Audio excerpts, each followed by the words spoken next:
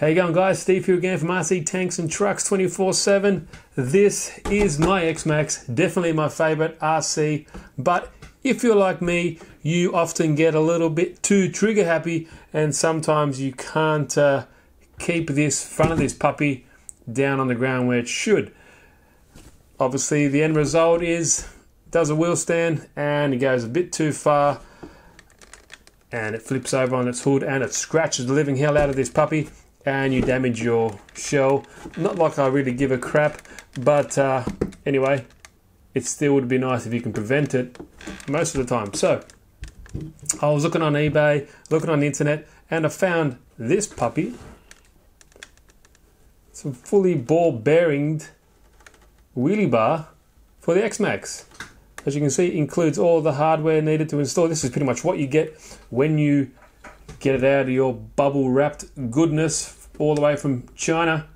But it definitely looks fine. Super thick, uh, it's about, I know, 13 millimeters thick there. Uh, plastic, ball bearing wheels. They're like uh, skateboard style rubber or plastic, whatever it's called.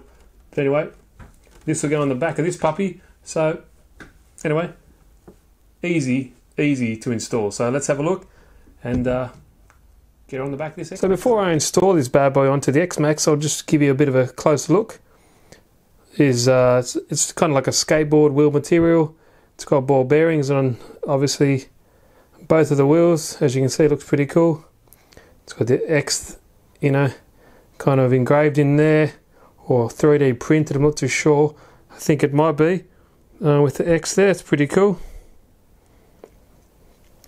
Um, what's the diameter of these wheels? See there, it's about about 47. Get the camera, 47 millimeters wide. All for you guys across the pond, 1.8 inches or so, and roughly about 25 25 mil wide or just under an inch in uh, wheel width. This plastic here at the thickest point is around about 15 millimeters or just over half an inch there. Yeah, pretty cool. Just uh, thought you guys want to keep camera focus. There we go. Just what you'd like to have a nice close look before uh, I install it. And like you see, this goes onto the bottom there of the rear skid plate, I think, and this just nestles, kind of locks under the rear or the bottom of the rear bumper bar. Pretty simple. Okay, first step, as you can see, here's the existing screws that hold the bottom half of the rear bumper to the X-Maxx. And here's a new one. It obviously includes two new screws for you as well with the right diameter like the existing one which is very easy to install and makes installation even easier so first things first nothing scientific about this or too hard anyone can really do this is get your favorite tool of choice and just undo these puppies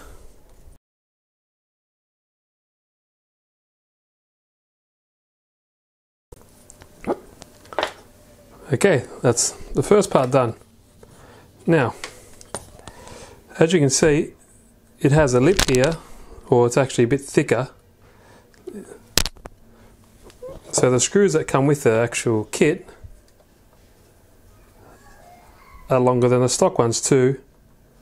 Obviously, adapt for that depth of the actual plastic. So you leave these ones in there, chuck your uh, existing ones into your spare parts drawer and there we go we just got to use these. So next step.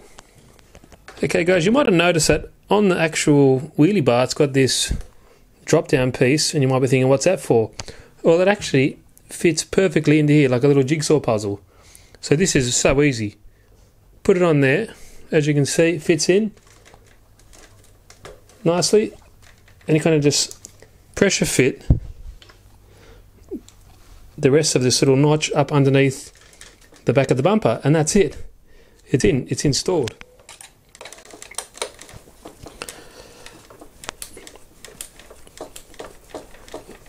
Now I don't think there is a easier way or more sorry, a more easy system to install. Honestly, if I wasn't talking on the camera, you could have this done in less than five minutes. No doubt about it. So the screws that it comes with are very good. Exactly the same as the original, just about 10 to 12 millimeters longer to compensate for the the distance, the thickness of the plastic. And that's it, guys. Done. Very, very cool. So as you can see, this part kind of just locks into place with just friction and the force of the these two pushing up against the the bottom of this uh, original bumper. So as you can see, it doesn't come out. It is very strong, and most of the force anyway is going to be point is pushing up towards this direction, not coming down. But regardless, it's not moving anywhere, and for the price of this, can't beat it. It looks great. I um am very happy with the actual finish and uh, how it actually looks. I think it does look pretty cool. So I'll put the body on and I'll show you how the main thing looks and in another video I'll actually show and see if it works. So there she is all locked and loaded ready to uh, give it a test. Now as you can see it looks quite compact and uh, compared to some of the other ones it's not as bulky that's for sure. If I put it on its side you can see it doesn't really stick out that much from the rear there and it you know looks pretty decent. Not too bad. So there we go. Quick video, extremely easy installation. I will leave the link for this puppy down below. Like always, any questions, holler at me in the uh, comment section. Uh, please, obviously, if you haven't subscribed, please do. I will be posting a video of the action of this puppy and seeing how it performs not too distant future. So thanks, guys. Steve here again. Have a good one. Catch you around.